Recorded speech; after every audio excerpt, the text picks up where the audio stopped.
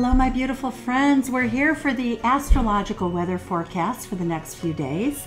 And what we have is Venus and Virgo. Every we've talked about it a little bit earlier, but I'm going to go through the signs. What does Venus and Virgo mean if you have Virgo on the first house? Well, it means that you're going to be looking good, really cute, very attractive, attracting love, attracting attention for beauty and your health. So if you have Venus and Virgo in the second house, you're being very careful with your money. You're being very detailed. You're saving money. You're saving for the proverbial rainy day, but it also means an abundance of money.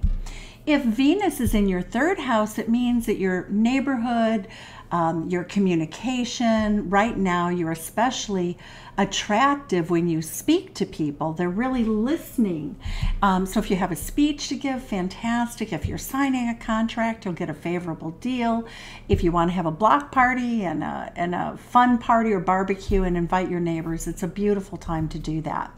If you have Venus and Virgo on the fourth house, you are probably eliminating the clutter, you're beautifying your home, you, buy, you might be buying a new piece of furniture, but with Virgo in mind, you'll be thinking function, form, does this fit? If you're cleaning your closets, if you are having fun times with family at home, it's an especially beautiful time if Virgo is in your fourth house. If Virgo is on your fifth house, it means that you are very likely to attract a Virgo person or a Virgo like person who's very attractive. It shows that right now your idea of fun may not be the big party that it was last month, but it really means that with children, with family, in romance, you'll move slowly, you'll be conservative, you'll be sweet, you'll be of service to others, and it's a super attractive quality to attract love. If you have Venus in the sixth house, that's the home of Venus and Virgo. It means that you are paying close attention to your health, you're taking care of yourself, your nutrition is good, uh, that you are also enjoying life day to day, really enjoying the routine. And if you don't have one, you're making one up that's really helpful to you. If you have Venus and Virgo on the seventh house, you are in a beautiful time in your life when you're able to attract a marital partner, a marital partner who's very conscientious, very kind, very loving, uh, somebody who would be of service to you in the marriage uh, relationship. That's how they would show you love. It also is a wonderful time to, uh, to, to find a business partner, a good doctor, a good lawyer, um, anybody that you you have a um, a light sort of an agreement with that regards that's like responsibility. So, in other words, when you're married, it's a legal contract. When you hire a lawyer, it's a legal contract. Your doctor has legal responsibilities to you to take good care of you. If you have a financial advisor, you need to have a fiduciary, so they have their first responsibility is to you. So, it's a wonderful time to solidify any relationships in those areas that you would like. If you have Venus in Virgo in the eighth house, it really looks as though for many of you, your 401ks, your investments, getting a home loan, um, an inheritance may come in, and you would be very frugal and very well planned in the way that you deal with that, very detail oriented. If you have Venus and Virgo on the ninth house, that's a house of publishing, higher education, um, foreign travel. So, for instance, foreign travel, the city of Paris is ruled by Virgo, Venus and Virgo. You could fall in love in the streets of Paris. You could get married there. Uh, for broadcasting or any kind of uh, social media, it looks as though you would be very well received. You'll be very attractive to people. Your messaging will be very kind, very meticulously done, a lot of attention to detail. If you are looking to get into a university or a college, it's a very favorable time to make those applications and to begin there.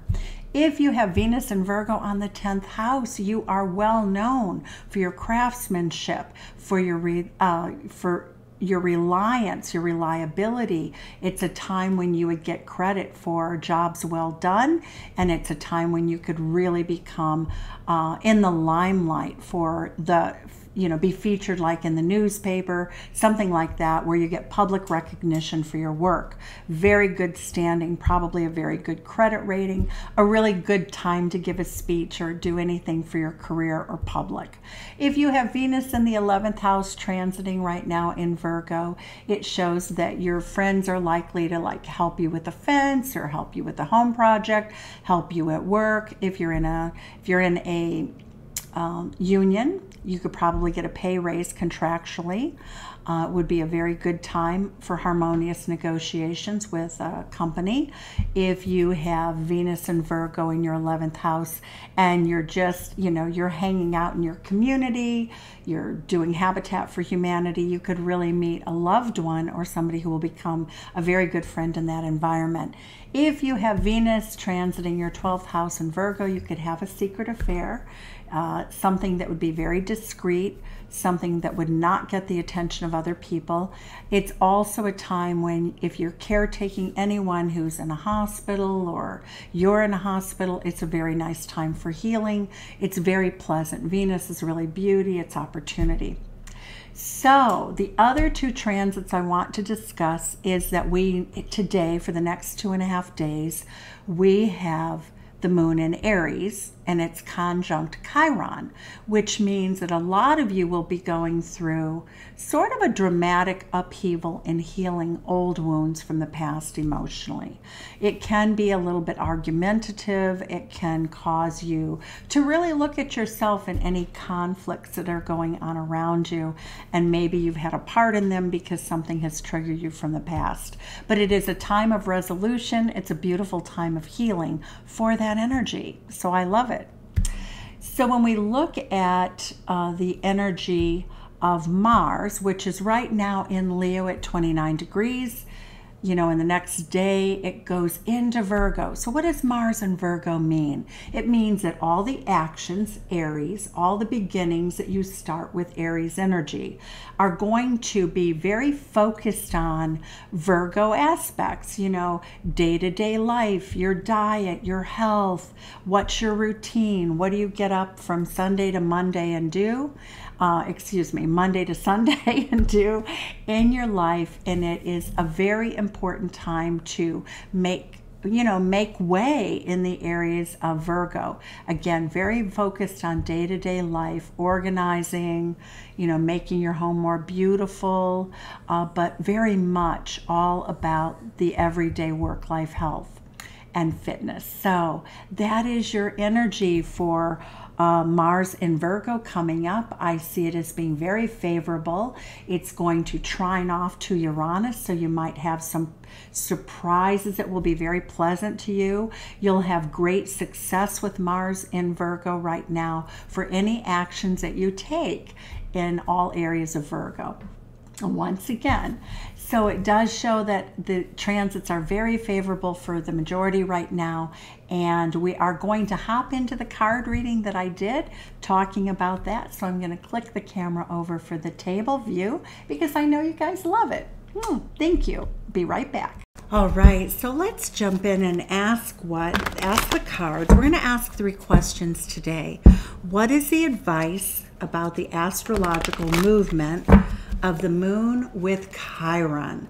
What is Spirit going to tell us about healing your emotions and taking action? What is the question and the answer to Chiron, the moon conjuncting Chiron? I'm going to just do three cards for each of these aspects we spoke about today. So, Hermit card, take time out for yourself in terms of healing. You know, look at things, um, you know, search for answers, but, you know, enjoy your quiet time. Chariot card, steadily and in a stable fashion, move forward. Do the things that you need to do to heal. And the Strength card says that you have all you need to be able to heal this energy. Most of you have done most of the work that is required for this that are watching for my collective today. But it's gorgeous. It really says be nurturing, be kind, be loving. You have everything you need, that the healing really is almost complete. All right, so now let's look and see with the Venus and Virgo energy. What is the advice from Spirit for Venus and Virgo for the collective watching today? Let's see what we have here. Ooh, nice. Ooh, stay balanced, Libra energy. That's seventh house energy. Um, you know, whatever you do, just make sure everything is balanced by the book very much. The Ten of Wands, let go of your burdens, enjoy yourself, don't become overworked. You know, stay balanced, don't take on too much with that Virgo energy. In any area of life, you won't be able to really carry the weight of it. Let go of your burdens, stay balanced with uh, Venus and Virgo. And the Queen of Pentacles, beautiful Capricorn energy, really says that you'll be rewarded for just staying the course and staying balanced. Okay. So now what do we have as the advice from Spirit about Mars going into Virgo? Look at this Virgo. We have the Hermit. That's Virgo energy. We have the Knight of Pentacles, Virgo energy. Remember what I said, being the sharp end of the spear, but what Spirit is saying is take your time, take action, which is Mars with Mars in Virgo, but take slow, steady action that is well planned Okay, what else do we have? Mars and Virgo. Watch out for your physical well-being also.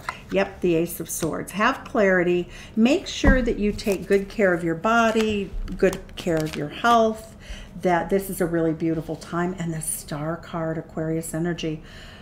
For some of you, you will be getting recognition in a very public manner with the star card. So when we look at that Mars energy, you are getting a lot of attention at this time. And we're really seeing this is a successful card. The star, the star is hopes and dreams for love coming true. It can also mean public recognition and status. Steady as you go. Keep your eye on the ball, which you always really do with Virgo energy. So that is your reading for today. Thank you so much for joining me. Bye bye, guys.